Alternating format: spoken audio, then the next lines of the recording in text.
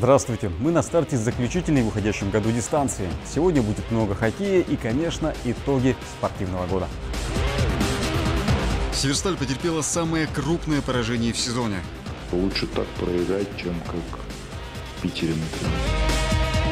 На своем льду серию поражений череповчанам удалось прервать и вернуть надежду. Мы сможем, потому что у нас хорошая команда. Не вижу причин, чтобы нам не попасть туда. Главные достижения череповецких спортсменов в уходящем году. У хоккейной команды «Северсталь» выдалась сложная неделя. Матчи шли через день и включили в себя самое крупное поражение в сезоне и долгожданную победу. Северсталь в Москве не смогла на равных противостоять «Динамо», хотя в первом периоде выглядела неплохо. Хозяева льда открыли счет на 18-й минуте в результате быстрой атаки. Однако еще до перерыва Владислав Кадолов в большинстве сравнял результат. Вторая треть матча оказалась полностью за «Динамо». Москвичи забросили 4 шайбы. Причем при счете 4-1 Северсталь заменил вратаря. Вместо Рафаэля Хакимова на лед вышел Константин Шостак и пропустил свой гол уже через 10 секунд. По итогам двух периодов положение почти безнадежное 5-1. Первый период, мне кажется, это был худший, худший за сезон, поэтому очень плохо играли, очень плохо начали, да, и получился такой разговор на повышенных тонах в раздевалке, да, и со второго периода более-менее начали играть. В третьем периоде поймавшие кураж динамовцы останавливаться не собирались. Они забросили еще три шайбы. У москвичей получались и быстрые атаки, и позиционные. Они также хорошо использовали ошибки защитников черепаевской команды. Северстали в этот вечер противопоставить сопернику было нечего. Итог матча 8-1 – самое крупное в сезоне поражение Череповецкого клуба. Мы две игры до этого проиграли. Север стали, да, поэтому ребята, в общем-то, настраивались вроде бы на эту игру, но все равно первый период играли не очень хорошо. Спасибо нашим болельщикам, которые в этот момент поддержали команду, да, и все, и игра вроде бы немножко наладилась со второго периода. Сегодня комментировать игру Северстали практически не, не получится, потому что ее как таковой не было. Чуть-чуть в первом периоде зацепились и за игру, и за счет. Вот. Но второй, третий развалились. Вот. Разберем ошибки. Вот. Скажу так, что лучше так проиграть, чем как в Питере, например. Северсталь завершила выездной вояж в чемпионате КХЛ матчем в Ярославле против принципиального соперника – «Локомотива». Череповчане открыли счет уже на второй минуте, отличился Кирилл Капустин. Довольно быстро и легко хозяева площадки отыгрались после стремительного сольного прохода Алексеева. Во втором периоде «Локомотив» вышел вперед после точного броска Пиарви Свенсона. В третьем периоде легионер Ярославцев оформил дубль, сделав счет 3-1. Северсталь заменил вратаря, на лед впервые в чемпионате КХЛ вышел Дмитрий Шугаев. И вскоре Александр Петунин забросил вторую шайбу в ворот «Локомотива». Однако отыграться череповчане не смогли. Итог матча 3-2, победа «Локомотива». Сегодняшняя игра это была игра двух команд, которые работали полностью всю игру, а команды, команды, которые не сбавляли, не проваливались да, слишком сильно, не позволяли сопернику много забивать. Но опять же повторюсь, что сегодня обе команды здорово работали. Хорошая игра, я думаю. Хочу сказать спасибо ребятам в очередной раз за игру. Вот, э, моментов много создали. И играли до конца, несмотря на счет 1-3. Вот. Но, к сожалению, к сожалению, у нас девятый номер, как по, по Яярве, да. да вот, он нас и э, в Череповце похоронил, да, два булита нам забил, и сегодня нам два гола забил, да. Вот. Ну ничего, есть над чем работать.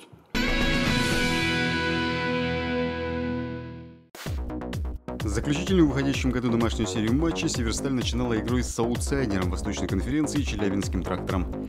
Гости активнее начали эту встречу, создали больше опасных моментов у ворот череповецкой команды и в конце концов забили гол. В численном большинстве отличился Руслан Карлин. Начали не очень важно. Надо добавлять, потому что иначе мы не вытащим игру. Так что все впереди. В начале второго периода еще один отрезок активности уральцев завершился вторым голом ворота Северстали. После этого тренерский штаб Череповчан сделал перестановки в тройках нападения, и это принесло результат. Сначала Кирилл Капустин на отложенном штрафе забросил первую ответную шайбу. В начале второго периода, уже при игре в большинстве, все тот же Капустин во второй раз поразил цель – 2-2. Но радость была недолгой. Через несколько минут челябинцы снова вышли вперед после дальнего броска защитника. Четвертая шайба влетела уже в пустые ворота череповчан за 10 секунд до финальной сирены. В итоге 2-4 поражение Северстали. Во втором периоде Северсталь перехватил инициативу, забил гол, и, в общем-то, к концу второго периода нам было очень сложно. В третьем периоде игра шла до гола, и мы его забили. Четвертая игра через день сожалению, сил не прибавляется. На первый план выходит техническое оснащение хоккеистов. И, к сожалению, сегодня первая половина игры просто ужасная была. Вот. Ну, хорошо, что забили, хорошо, что сравняли. Вот. Ну, третий гол перечеркнул, скажем так, все, все заслуги. Сочи является прямым конкурентом Северстали в турнирной таблице, поэтому было важно добиться победы в этом матче. И стартовали череповчане лихо. Сначала Владислав Кадола сам себе создал удобный момент для обстрела ворот и не промахнулся. Вскоре Северсталь реализовала численное большинство, на добивании всех опередил Егор Морозов. Однако соперник настиг череповчан также быстро еще до первого перерыва. Сначала сочинцы использовали численное преимущество. Затем воспитанник череповецкого хоккея Юрий Александров поразил цель дальним броском. Всегда приятно, родной город, любимый дворец, родной, 40 классно. Во втором периоде при равной игре Северсталь снова смогла использовать численное преимущество. Гол в активе Егора Яковлева. А в заключительной третьем матче гости бросились отыгрываться, но отличились снова череповчане. На пятачке расторопнее не всех оказался Александр Петунин. Ну, конечно, для нас, наверное, такой ключевой этап, как бы, как мы сыграем, э, либо мы приблизимся к восьмерке, конечно, задача стоит такая, как бы, я думаю, мы сможем, потому что у нас хорошая команда, не вижу причин, чтобы нам не попасть туда. В оставшееся время череповецкие хоккеисты надежно сыграли в обороне и удержали победный счет. 4-2 Северсталь прервала серию из пяти поражений. Местами неплохо играли, а местами безобразно. Немножко нас сегодня подвела дисциплина. Были неоправданные удаления, и я думаю, может, поэтому так игра для нас закончилась. Большинство у нас сработало, меньшинство скажем так, тоже хорошо отработала. Это стало решающим фактором. И опять же, вот в концовке без паники не обошлось, но уже скажем так, более и более уверенно. Последний в году матч Северсталь проведет 29 декабря в Череповце против петербургского СКА. По традиции сегодня подведем итоги уходящего года. Он в целом получился плодотворным для череповецких спортсменов.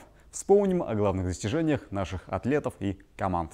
В 2019 году Череповец не раз выступал организатором и одновременно участником официальных соревнований различного уровня. В феврале Дворец бокса Али принимал первенство Северо-Западного федерального округа по боксу среди юношей. По его итогам представители Череповца, братья Курбан Магометовы, завоевали две золотые медали и, соответственно, путевки в финал первенства России. В марте во второй раз в истории города прошел чемпионат России по зимнему полиатлону, на который съехались представители 18 регионов, более 120 участников. По итогам чемпионата России лидером среди команд команд спортивных клубов стала спортивная школа номер 4 Череповца. Вологодская область в 13 раз оказалась лучшей среди субъектов Российской Федерации. В индивидуальном зачете серебряным призером соревнований с результатом 294 очка стала мастер спорта международного класса череповчанка Маргарита Вершинина.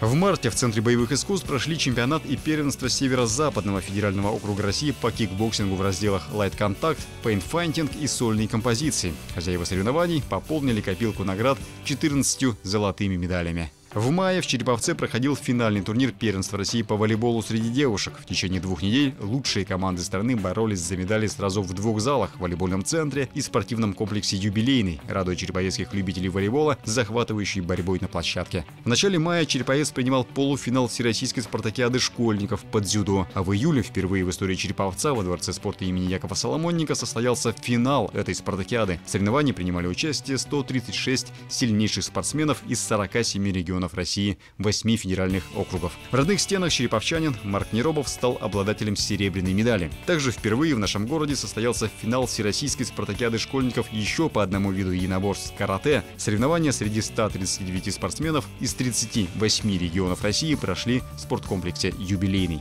В уходящем году спортсмены города достойно защищали честь Череповца на российской и международной аренах по разным видам спорта. На зимней спартакиаде Союза городов Центра и Северо-Запада России в Сыктывкаре сборная сборная города заняла третье место. Город на Шексне представляли 30 ведущих спортсменов в трех дисциплинах. Череповчане завоевали серебро в спортивном ориентировании и бронзу в конькобежном спорте.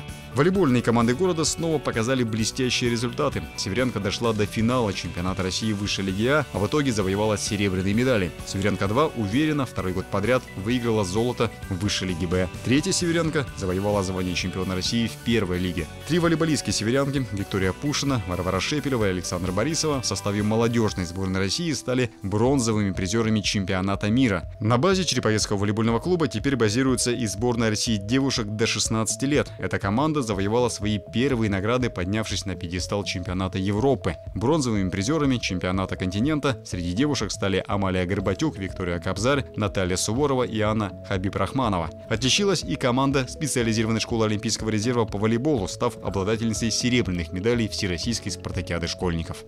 Уникальный рекорд на все времена покорился игрокам футбольной команды «Череповец» тренера Владимира Голубинского. Они выиграли все матчи первенства третьего дивизиона и во второй раз в своей истории стали обладателями золотых медалей. Кроме того, череповчане четвертый год подряд выиграли Кубок Межрегиональной Федерации «Золотое кольцо». Владимир Голубинский был признан одним из лучших тренеров года в области. Воспитанники секции футбола «Оно Дрожь Череповец» стали победителями первенства Ассоциации мини-футбола «Золотое кольцо» среди юношей 2010 года рождения. Надо отметить, что 9 череповецких тренеров по различным видам спорта по итогам года были отмечены Департаментом физической культуры и спорта Вологодчины как лучшие тренеры года и 9 череповецких спортсменов как лучшие спортсмены года. Спортивные достижения наших атлетов – предмет гордости для горожан и яркий пример подражания. Порадовали нас своими выступлениями конькобежцы. Артем Кузнецов в январе занял четвертое место на чемпионате Европы в спринтерском многоборье, а Артем Арефьев в начале года стал победителем первенства России среди юниоров на дистанции 500 метров, выполнив норматив мастера спорта международного класса. Осенью уже на взрослых соревнованиях он стал призером чемпионата России, едва не побив мировой рекорд. Бронзовым призером чемпионата мира по конькобежному спорту в командной гонке стала Евгения Лоленкова. В новом сезоне она завоевала бронзовую медаль уже на этапе Кубка мира на дистанции полторы тысячи метров, а еще победила и в командной гонке. Блеснули на легкоатлетической арене и наши бегуны. Елена Черняева стала серебряным призером на 100-метровке чемпионата России и чемпионкой страны на дистанции 200 метров. Второе золото чемпионата Елене принес забег в составе команды Санкт-Петербурга в эстафете 4 по 100 метров. Максим Рафилович, Кирилл Лужинский заслужили звание чемпионов России, выступая в составе Санкт-Петербургской сборной в эстафете 4 по 400 метров. А Дмитрий Шкуропатов в составе команды с берегов Невы также в эстафете завоевал серебро. Сборная Вологодской области в составе череповчан Павла Каноненко и Ели Беляева, выступив на первенстве России по легкой атлетике в Калуге, сумела завоевать бронзовые медали. А Кирилл Лужинский завоевал бронзу в беге на 400 метров. Порадовали нас и ориентировщики. Андрей Ламов снова собрал дорогую коллекцию наград в зимнем спортивном ориентировании. В Швеции на чемпионате мира он сначала завоевал золотую медаль на длинной дистанции, а затем стал победителем и в эстафетной гонке, блестяще пройдя заключительный этап. Теперь Андрей девятикратный чемпион мира. Вновь успешно выступили череповецкие фехтовальщики на колясках на Кубке мира в Польше. По итогам напряженных поединков мастер спорта международного класса Дмитрий Беляев завоевал две бронзовые медали в личных соревнованиях на шпаге и рапире. Александр Курзин – бронзу в личных и командных соревнованиях на сабле. В уходящем году Дмитрий Беляев стал также чемпионом России, серебряным и бронзовым призером чемпионата мира. А главным достижением мастера спорта международного класса Александра Курзина стала победа на чемпионате мира в Корее в личных соревнованиях на сабле и бронза в составе сборной команды саблистов России. Вот таким для Череповца стал уходящий год. Впереди у череповецких спортсменов и физкультурников новые старты и победные финиши. Это все о спорте на сегодня и в 2019 году. До встречи теперь в 2020. С наступающим Новым годом и будьте здоровы!